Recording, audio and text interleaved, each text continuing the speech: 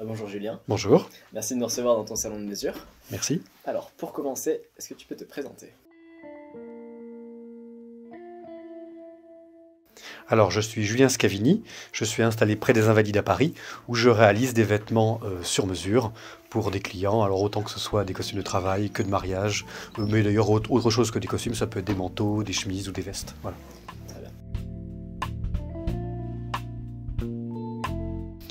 Alors, c'est plutôt le tailleur à quoi doit-il s'attendre? Puisqu'on ne vient pas chez le tailleur par, euh, par hasard en fait. Autant dans une boutique on peut y rentrer parce qu'en fait on se promène, on rentre, on voit un vêtement, on l'achète. Il y a un côté instinctif et un peu c'est sur le moment. Même si on peut réfléchir à un manteau un peu en amont. Alors que chez un tailleur on y vient vraiment parce qu'on veut quelque chose. Donc soit c'est parce que c'est un besoin du quotidien, on s'habille en costume au travail, donc on veut un beau costume. Euh, soit parce qu'on n'a pas besoin de costume et qu'on a envie d'un beau costume, parce qu'on regarde Mad Men ou Peaky Blinders, voilà, et, ou un beau manteau euh, façon Peaky Blinders aussi ça marche. Donc là il y a vraiment un côté plaisir, euh, qu'on vient chercher un objet particulier. Et puis le troisième branche, c'est bah, on vient chercher un costume de mariage, cérémonie ou un smoking. Donc en fait c'est plutôt le tailleur à quoi, à quoi doit-il s'attendre. Donc ça la première question c'est qui vient me voir et pourquoi. Après, euh, je sais qu'il y a toujours une petite peur en fait euh, quand on est novice. Tout ce qu'il faut savoir, c'est que je- on est, on est obligé de payer, en fait ces personnes. Donc, euh, en fait, la peur, elle est là. C'est-à-dire, il va falloir que je sorte ma carte bleue à la fin, oui ou non. Mais non, vous n'êtes jamais obligé de ça. Donc, euh, on peut venir se renseigner, c'est-à-dire, on peut m'appeler, on peut me dire qu'on n'est pas sûr, qu'on réfléchit, qu'on n'est pas sûr de commander. Et moi, il n'y a pas de problème. Au donner un rendez-vous d'une heure et demie, je vais donner un rendez-vous de 30 minutes. Le but va être juste de ah oui, bah, qu'est-ce que vous voulez Ah bah, J'aimerais peut-être une flanelle ou peut-être un costume d'été, mais je sais pas trop. Bon, bah, à ce moment-là, on regarde quelques tissus. Moi, je donne les prix. Bah, ça, ça vaut tant. Ça, ça vaut tant. Voilà, et ça permet de réfléchir. C'est-à-dire que ça permet d'aller au bout de l'expérience du tailleur, parce que l'expérience du tailleur, c'est aussi prendre le temps. C'est pas être dans, la- dans- dans un, dans- un achat d'instinct. On est dans une boutique, il y a de la musique, il y a du monde, euh, on se sent obligé d'acheter parce qu'en fait, euh, on a envie de trucs. Non, au, au contraire, chez le tailleur, on vient et on peut euh, prendre un peu le temps. Voilà. Bah, moi, j'ai tendance à dire que oui, on vient pas chez moi par hasard précisément. Il faut venir. Il n'y a rien de pire qu'un client qui arrive en disant euh, donc première question, bah, que puis-je faire pour vous? Eh bien, je ne sais pas. C'est- Qu'est-ce que tu veux répondre à ça en fait? Donc, il faut obligatoirement que quelqu'un vienne me voir en disant bah, je veux un costume, ou je veux un costume, ou je veux une veste, ou je veux un manteau, ou je veux un pantalon. Deuxième question, pour quelle saison? Peut-être même il n'y a pas de saison, peut-être c'est pour toute l'année. Euh, bah, euh, et puis après, avez-vous une couleur Gris, bleu? Et bah, ça se prépare en regardant mon site, en regardant des vidéos, et puis évidemment en, en allant dans les boutiques de prêt-à-porter, ou même sur Internet, en regardant les concurrents. On peut regarder le site du Gobos, le site de Boji, et se dire bah, finalement, tiens, j'aime bien ça, tiens, j'aime bien ça. Et puis euh, la personne peut me montrer les photos, et moi je peux m'adapter aussi, tu vois. Bien sûr. Oui, alors c'est une question complexe qui a beaucoup de, facettes. Euh, il y a, je pense, des gens qui ont plus d'âge que moi, euh, qui seront beaucoup plus dans l'assurance euh, vis-à-vis du client et qui seront beaucoup plus aussi dans une démarche d'habilleur. C'est-à-dire, monsieur, qu'est-ce que vous voulez?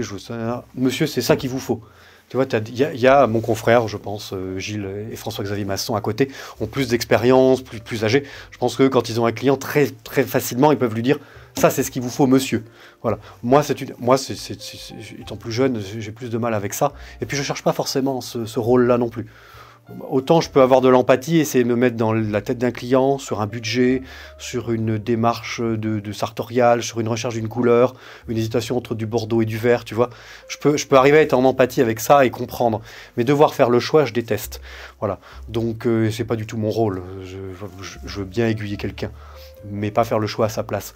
Après, euh, euh, donc, donc, donc, parfois, il y a des frustrations de gens qui auraient préféré que je choisisse, tu vois, peut-être pour eux. Moi, préfère que la personne vienne et, choisisse elle-même, même si on l'aide. Après, il y a la question des mesures. Euh, et la question des mesures, elle est quand même plus particulière, elle est très délicate, parce que je ne peux pas aller contre l'avis du client. Il y a des gens qui veulent des revers de 5 cm parce que c'est le goût parisien. Je ne peux pas aller contre ça, même si moi je porte des revers plus larges. Mon but est de m'adapter à leurs désirs. Quelqu'un qui veut un costume genre parisien, il faut que je lui fasse veste courte, petit petit revers, parce que sinon il n'apportera pas. Quelqu'un qui vient pour des revers larges et l'épaule napolitaine, il faut que je sois en capacité de le faire. Moi, mon plaisir aussi, c'est de pouvoir tout faire aussi. C'est-à-dire itérer ces deux, ces deux idées. C'est-à-dire, moi, j'ai autant de plaisir à faire un costume euh, genre de fursac noir avec des petits revers, tu vois, un peu à la Dior. Ça, ça me fait plaisir parce que je vais essayer de bien le faire. Tu vois, si je comprends l'idée, je vais me dire, bah écoute, je vais faire un beau costume dans cette idée-là. Puis si quelqu'un d'autre vient me voir en disant je voudrais un costume à la Isaiah Napoli avec une épaule froncée, mon plaisir, ça va être aussi de faire ça bien, tu vois. Mais il faut que je le comprenne. Et après, enfin, il y a les mesures, qui est la troisième, ça c'est plutôt le style, et là, la troisième facette, c'est les mesures. Alors ça, c'est vraiment une prise de tête infernale. Euh, il y a beaucoup de clients qui ne font pas du tout confiance à ce qu'ils viennent chercher ici. Euh, voilà, euh, je me suis encore pris la tête récemment avec un client. Moi, je lui ai fait les vestes avec une certaine aisance, parce que je crois, moi, qu'une veste, c'est pas un collant en néoprène.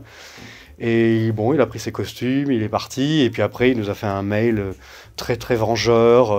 il va revenir d'ailleurs pour faire retoucher, parce qu'il comprend pas qu'il comprend pas qu'il y a de l'aisance dans un costume.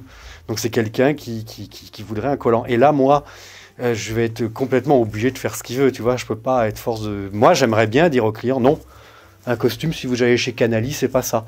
Ça a de l'aisance, il y a un peu de soufflet dans le dos pour bouger les bras. Sauf que ça se bute, ça se heurte à, une, un désir d'avoir un collant. Donc. Euh, donc c'est un métier assez difficile parce que tu as des jeunes qui ont un goût très jeune et tu as des jeunes qui ont un goût old school. Et puis tu as des vieux qui ont un goût très vieux et tu as des vieux qui ont un goût très jeune. Et, puis tu as, tout, toutes les nuances de gris autour de ça. Donc en fait, c'est vraiment le plus difficile de nos jours, c'est qu'il n'y a plus un style. On n'est pas comme les années 50 où on allait chez le tailleur, le tailleur habillé dans le style du moment. Nous, il y a plein de styles à disposition. tu le sais très bien sur tous les forums, le côté sartorial, le côté euh, parisien. Enfin, il y a, des centaines de façons de porter le costume et le style. Et nous, faut qu'on s'adapte à chaque. Et puis chacun a son idée, parce que bah, ma mère est couturière, elle a vu que ça, c'est pas comme ça qu'on faut, faire. Donc tu vois, c'est très difficile, c'est très très difficile. C'est le plus dur parce qu'en fait, la segmentisation et la, la, la, la, cible du marché, elle est éclatée complètement.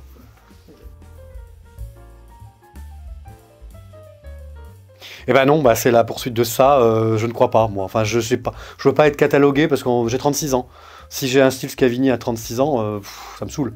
J'ai pas envie d'être dans une tombe, tu vois, déjà. J'ai pas envie de me dire. Alors, mais c'est peut-être mon problème, c'est peut-être ma limite à moi. C'est-à-dire que j'ai tendance aussi à penser qu'une marque maintenant, c'est aussi un stéréotype. Ceci, à un moment donné, il faut apporter aux gens un style qui est le sien. C'est vrai que moi, par le blog, Steve Collard et autres, j'avais plutôt ce petit côté anglomane, le papillon, le, petit style anglais des années 50, euh, 60, enfin, ou 30, 50 plutôt, euh, mais qui se heurte aussi à une réalité. Il faut que je sois dans la modernité, donc je ne peux pas non plus être sur cette image surannée, sinon j'aurais pas de clients.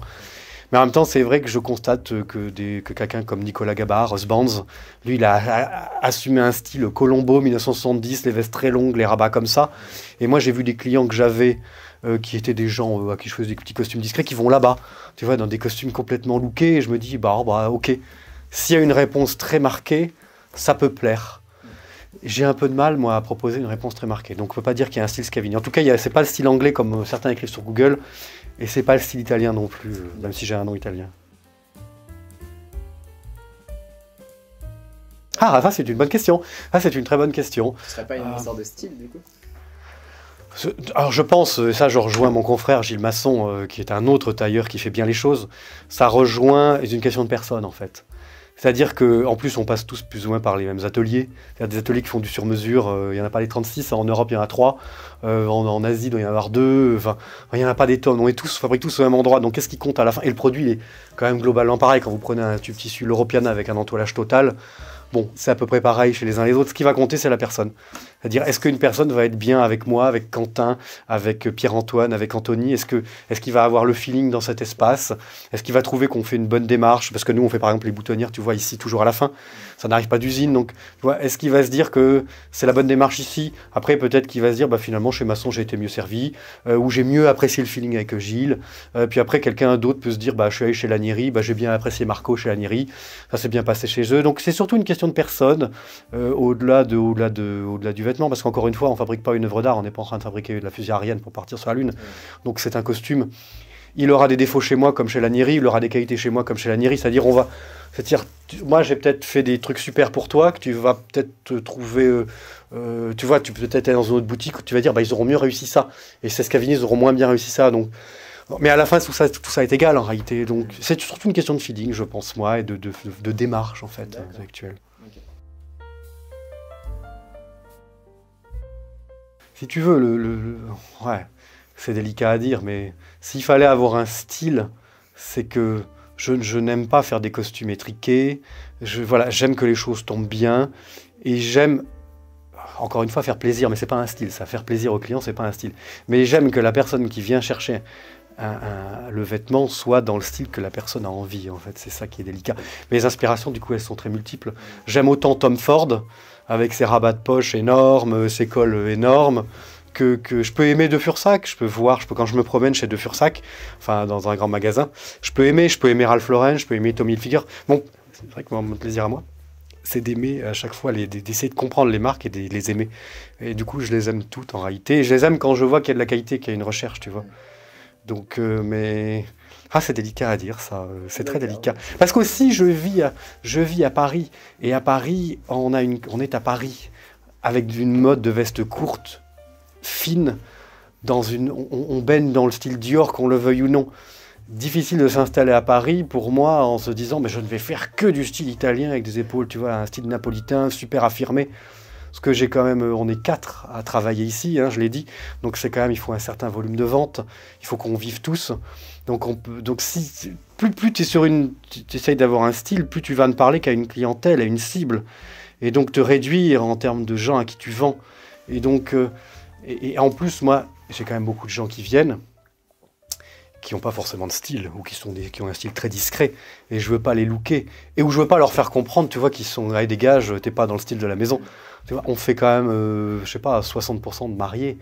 Donc on peut pas et les mariés ils viennent pas chercher un style napolitain hein. ils viennent chercher un costume vert un costume bleu ciel un gilet de couleur. Donc si tu es là à leur imposer un style en disant chez Scavini on va vous faire ça puis de toute façon ils comprendraient pas hein. je veux dire en fait on aurait des problèmes pour moi, l'idée d'avoir un style et de l'imposer à un client, c'est se faire des problèmes. Parce qu'à l'essayage, le, type, il dit oh, Mais tu attendez, moi je peux pas porter ça. Donc tu vois, délicat à dire. Hein, ouais, d'accord. Alors, un beau costume, euh, eh ben, c'est fabriqué par déjà un atelier qui, a, qui est spécialisé en costume. Un atelier qui a un tour de main qui a une spécificité. Ça, c'est vraiment une question technique, mais dans le milieu du textile, tu as des usines qui fabriquent tout. Tu peux aller voir d'une usine qui va te faire un t-shirt et le lendemain une veste. Ça existe. Et tu as des usines qui se spécialisent. Qui, une usine qui fait que du polo. Euh, une usine qui va faire que des pantalons ou que des costumes, voilà.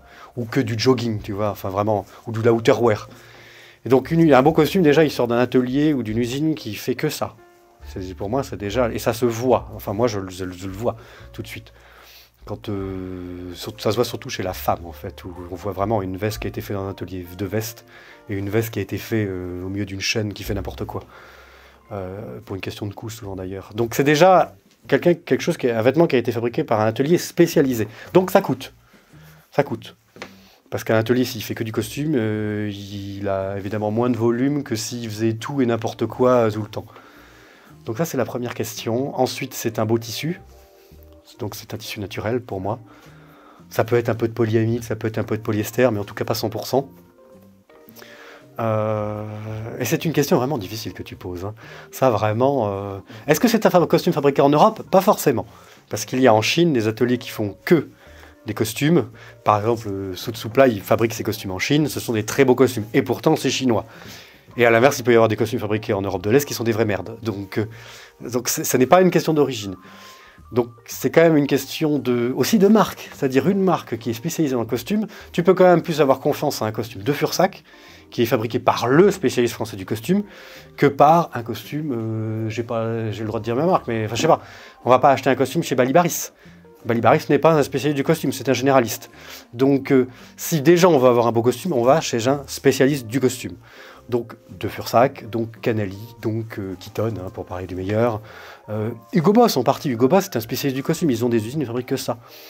Euh, tu vois, j'essaie d'être un peu large hein, dans, mon, panel de, costumes. Donc c'est un, beau façonnier, déjà, c'est un beau façonnier. Ensuite, c'est un beau tissu. la coupe, c'est très très variable parce que la coupe, toi tu peux aimer une coupe que quelqu'un d'autre à côté va dire qu'elle est pourrie. Donc, et des fois, moi il y a des gens qui me disent ouais, je suis allé chez une telle maison, la coupe était nulle moi dans ma tête je me dis c'est ridicule de dire ça parce que c'est pour le coup c'est quelqu'un qui fait des costumes depuis un siècle euh, ou moins enfin bon c'est pas on peut pas dire qu'une coupe est nulle dans un cette marque là en particulier. Donc mais ça c'est très difficile à juger. Voilà. Et puis euh, et puis c'est une certaine attention aussi pendant le processus de vente. Mais ça c'est lié à un spécialiste ou pas. Dans une boutique avec un spécialiste tu vas avoir un vendeur qui normalement est un peu spécialiste. Voilà. Donc parce qu'il y a aussi un costume c'est difficile à ajuster cintrage, longueur de pantalon, demi-ceinture, épaule. Donc ça nécessite d'avoir à minima quand même quelqu'un qui sait de quoi il parle quand il le vend. Finalement, c'est ouais, bien cerner euh, les attentes euh, du client pour lui faire le meilleur costume, le plus beau costume pour lui. Ben oui, moi je pense, voilà, et voilà, et savoir de quoi on parle. Savoir que la personne qui vend le vêtement sait de quoi elle parle. Parce que c'est un produit à forte valeur ajoutée, donc c'est un produit qui est exigeant mentalement pour la personne qui le vend. Donc donc c'est un ensemble de choses en fait, euh, je pense moi. D'accord. Bonne façon, bon tissu.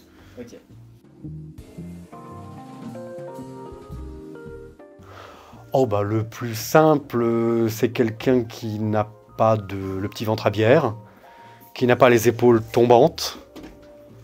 Haute, on peut encore se débrouiller, mais tombante, c'est pas toujours facile. Euh, c'est quelqu'un qui est dans le ratio, dans le drop, c'est-à-dire qui fait, euh, qui a le, qui fait du 50 en veste, enfin, on va dire euh, donc drop 6-8, c'est-à-dire 50 ici et 42 en pantalon. Tu vois, ça, ça fait 8. Ou 50 ici et 44 en pantalon. Donc ça veut dire que c'est une personne relativement lambda. Voilà, qui n'a pas le petit ventre qui crée des problèmes. Euh, qui fait du sport ou pas, mais très raisonnablement. Parce que la pratique du sport, très vite, elle crée quand même. Elle développe ce drop. Donc c'est-à-dire que tu passes très très vite en 52-54 alors que tu gardes le pantalon 42-44. Donc tu crées une différence. Donc voilà, euh, quelqu'un euh, facile à habiller, euh, oui, c'est quelqu'un qui est ni trop grand ni trop petit, qui n'a pas les épaules trop basses, qui n'a pas ce petit ventre à bière. Après les mollets forts ou les cuisses fortes, c'est pas un problème. Et après le plus challenging, bah, le plus challenging, c'est pas les petits. Parce que moi j'habille assez bien les petits, mais c'est les très grands. Les très grands, les gens qui font 2 mètres, 2 mètres 10, et qui sont corpulents, qui sont des, des grands et forts. L'âge en plus n'aide pas, il y a des voitures qui apparaissent, donc on a du mal à voir. Oh, j'ai des clients, euh, j'ai des clients d'un certain âge hein, qui ont passé 70 voire 80, qui peuvent même pas se tenir debout, qu'on est obligé de mettre avec une chaise pour qu'ils se tiennent. Ça, ça c'est un challenge. Parce que là, tu peux même pas le faire tenir debout droit devant un miroir pour voir ce qui se passe, pour voir s'il a une tenue voûtée, comment sont les épaules, si elles sont basses. Parce que quelqu'un qui s'appuie sur une, une chaise, tu sais même pas s'il a les épaules hautes ou basses. Donc ça, c'est vraiment le challenge. Ça, c'est le challenge ultime. Toi, t'étais pas non plus à piquer des verres, hein, parce que tu as un drop donc euh, très athlétique, très développé en haut, petite taille fine. Euh, et en plus, en demi-mesure, entre guillemets, on, on a une limitation. hein. C'est que c'est one shot, on, casse, on coche des cases. Donc en fait, c'est ça passe ou ça casse. Tu vois donc faut pas se gourer à la prise de mesure. Parce que si quand la veste elle arrive, faut la foutre à la poubelle, c'est tu, tu- tu- tu perds de l'argent. Ouais. En grande mesure, l'écueil il est moins grave parce qu'en grande mesure, au premier essayage, tu démontes tout, tu refais, tu recales les épaules. Donc ton jeu, ton, ton physique, un physique comme toi en grande mesure, il est très facile. Tu peux vite voir les tenants et aboutissants. En une mesure, c'est plus challenge parce que tu peux pas, faut pas te rater. C'est-à-dire, tu as le droit, quand la veste elle arrive, elle est finie en fait. hein.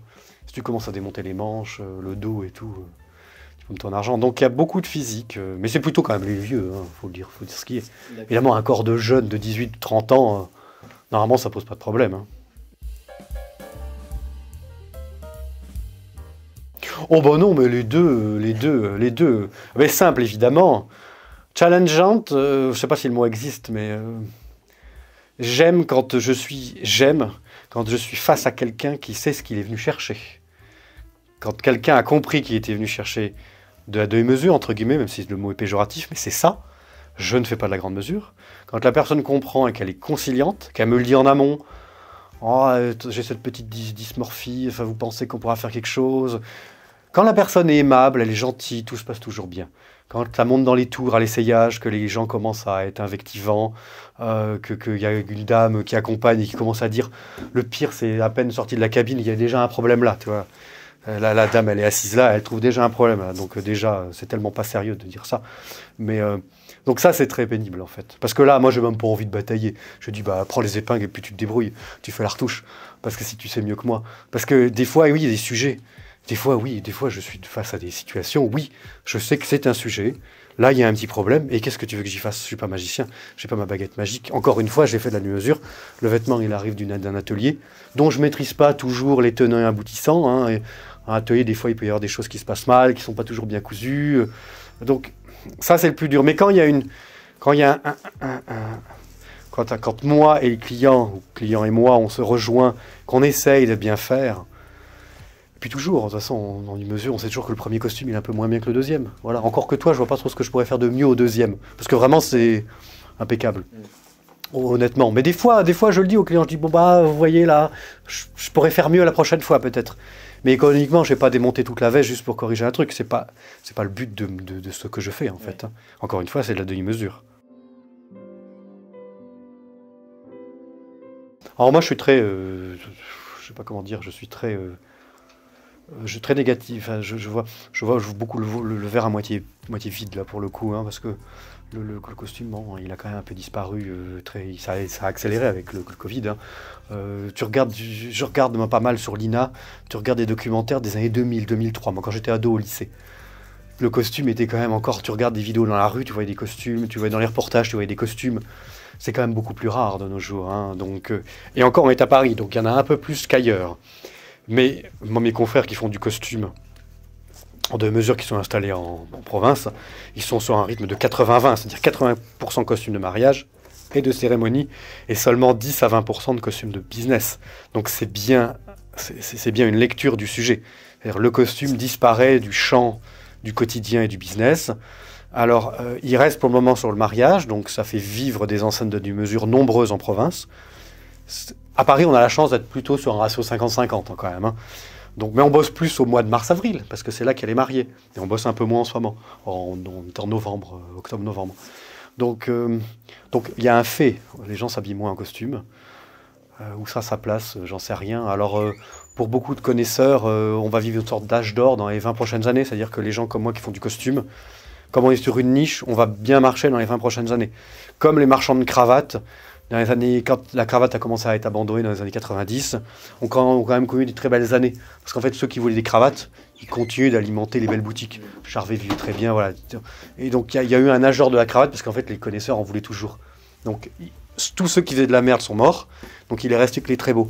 Et le costume, on va vivre ça pour, pour, pour les 20 prochaines années, en mesure en tout cas. Voilà. Mais, mais bon, euh, après, euh, je peux pas te dire. hein. C'est quand même très. Très. Très en disparition, un petit peu quand même. hein. Ouais.